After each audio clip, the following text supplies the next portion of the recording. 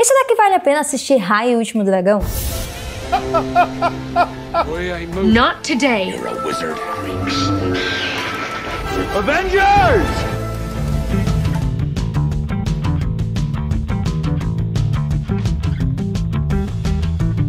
Oi, chuchus, como vocês estão? Bom, pra quem não me conhece, eu sou a Carol e eu sempre trago vários vídeos legais aqui no canal, então se você não é inscrito, aproveita para se inscrever, deixa seu like aqui embaixo, assim como um comentário. E aperta no sininho, porque senão o YouTube não vai entregar notificação de vídeo novo pra você. Antes de falar aqui sobre Raio Último Dragão, eu preciso saber se você comprou, né, adquiriu antes de sair no Disney Plus, porque sim, tá disponível no Disney Plus, mas não para todo mundo, só para quem realmente vai pagar 70 reais a mais, se eu não me engano é esse valor. Ou se você vai esperar ele sair no dia 18. Você já assistiu ou você vai esperar? Comenta aqui que eu quero muito saber sua opinião. Claro que, tipo, quando eu vi a primeira coisa assim, nossa, trailer, teaserzinho de Raio Último Dragão, eu fiquei, ah, nossa, Disney.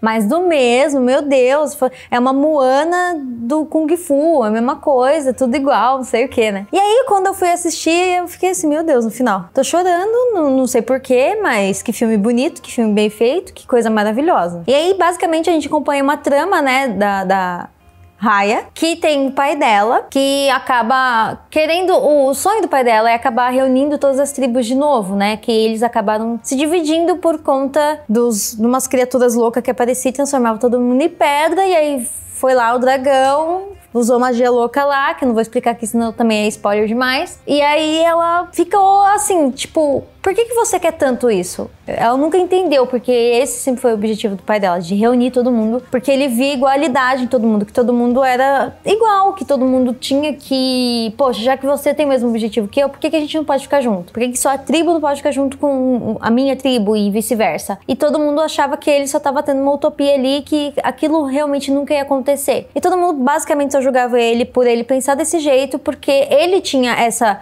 essa, ele continha, né, dentro do, do, da tribo dele, o coração, né, basicamente aonde ficava essa joia, gema, que tinha esse poder do dragão, que basicamente foi extinto, né. E aí o que eu achei muito louco é que não é um filme comprido e ao longo do, dos três atos a gente acompanha a trajetória da Raya e como ela compreende o que o pai dela sempre quis, né. É, é tipo no fim das contas, ele estava certo. É aquele esquema de não faz isso, filha, vai dar errado. E ela faz, aí dá errado e ah tá, você estava certo. É uma trama simples, é uma forma muito simples de resolução. É muito bonito porque tem um significado muito bonito, né? Você realmente acreditar na palavra de outra pessoa é uma coisa muito importante, é um passo muito difícil para todo mundo.